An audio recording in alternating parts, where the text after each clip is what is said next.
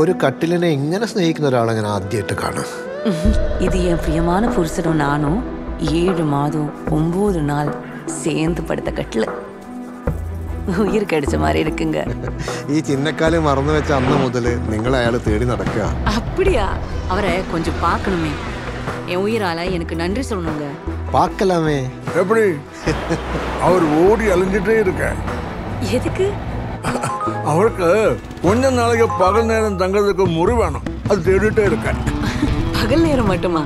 அப்ப ராத்திரி? அவர் வித்தியாசமான ஆளு. அவருக்கு ராத்திரி இல்லை.